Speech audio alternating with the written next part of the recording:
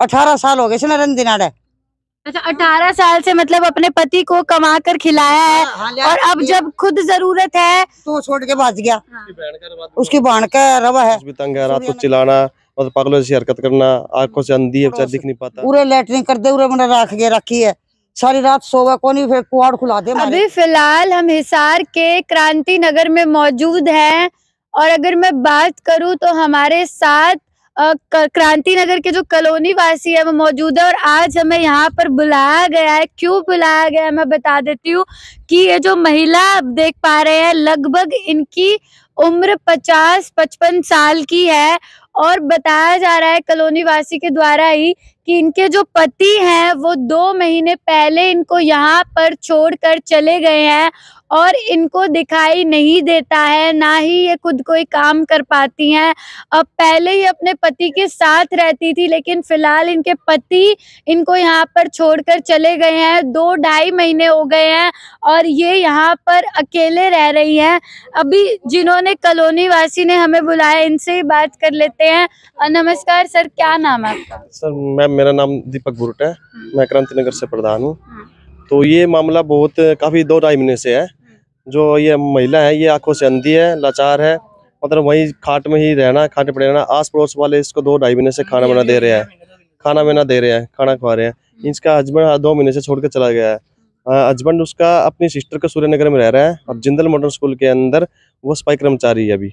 और वज़ीर नाम है उसका। हम चाहते हैं कि या तो उसका हस्बैंड इसको लेके जाए यहाँ से ताकि इसको भी उपचार मिल सके अच्छी इसकी जीवन शैली हो। सके। या फिर इसको कैसे न हम कानून कार्रवाई करके उसके हस्बैंड को बुला के या कोई वृद्धाश्रम में छोड़े।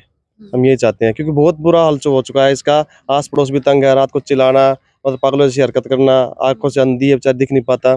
तो सभी मोहल्लावासी कब तक खाना खिलाएँगे इसको? कब तक क्या करेंगे? इतनी हेल्प कर सकते हैं हम तो भाई इसका हस्बैंड आए और उसको लेके जाए जी। माता जी यहाँ पर मौजूद है। क्या समस्या आ रही है? समस्या तो बहुत बेकार है। इसका ज़िंदगी बहुत खराब है दो महीने से। और खाना खर्चा मैं देती हूँ इसके। रहने का भी अपना कमरे में रहता है धुन पे और खाना मैं देती हूँ। बस दो दिन हो गया। नहीं दी हूँ खुद का मैं बीमार हूँ। गाय ने मेरे को फेंक दिया। फिर बीमार हूँ खुद।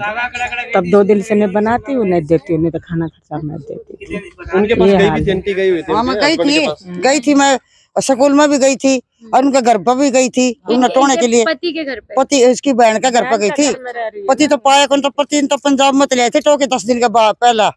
और फिर डेढ़ महीना के सुनो गोड़े रंधन है सब तो दुखी ज़्यादा मैं हूँ। मेरा लगा पड़ोस। पूरे लेटरिन कर दे पूरे मैंने रख के रखी है।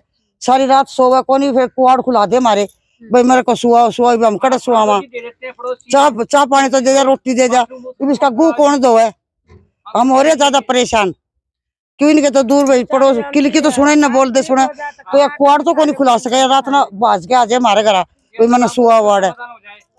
अच्छा तो हाँ। घर इनका बिल्कुल बना यहाँ ये है घर तो यो है। बनांदा है तो कौन? ही घरे तो कौन बनांदा? हाँ। जी। चल घर तो ना बना। प्लाट इनके पति का ही है। पति का ही है प्लाट तो। नौकरी कर लग रहा जिंदल बॉर्डर में के है वो बना कौन मेरा? है स्कूल में करा है। अठारह उन्नीस हज़ार तनखा लेने लग रहा कदे घर दस रुपये कौन दे? दारू मर सट्टा में ला दे है। ठीक है? तो आप जब ठीक से दिया लिया कर दी कमा के भी लिया कर दी सब्ज़ी मंडी में सब्ज़ी लिया कर दी फल फ्रूट भी लिया कर दी मंदिर में तो रोटी तीन तीन मंदिर में तो रोटी इकट्ठी करके लिया कर दी दोनों टाइम खाया कर दा अरे दो महीने हो गए छोड़ के भाज रहा जमा।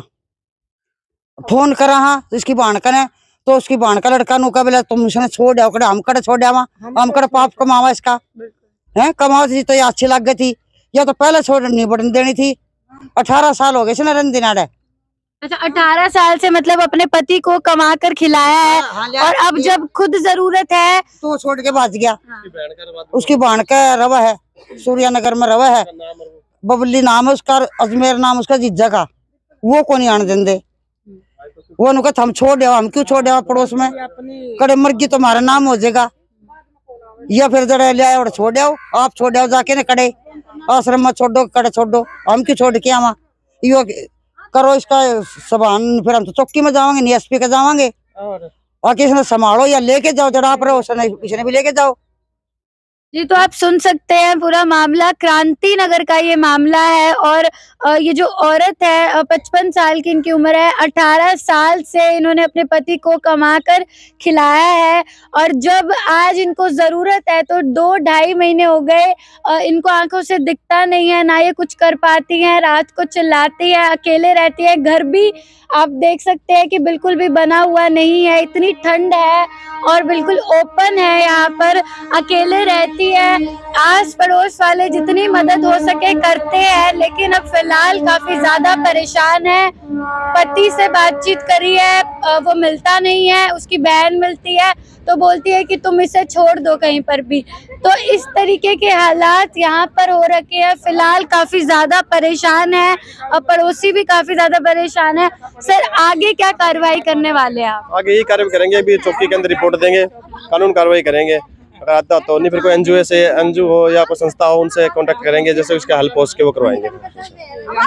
और मैं तो चाहता हूँ कि भी ऐसे जो अपनी बीवी को छोड़ के या अपनी माँ को छोड़ के जो जाता भागता है, मैं सरकार से दरखास्त करता हूँ कि इस पर सख्त से सख्त कानून बनाया जाए, ताकि किसी माता या किसी की बीवी पे दुराचार या व्यापार ना हो, अत्याचार ना हो।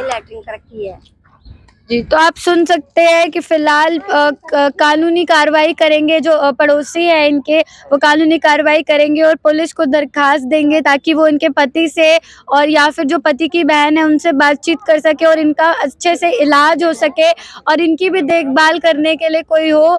नहीं तो अगर वो नहीं मानते हैं तो क्या पता इन्हें वृद्धाश्रम भी छोड़ कर आए।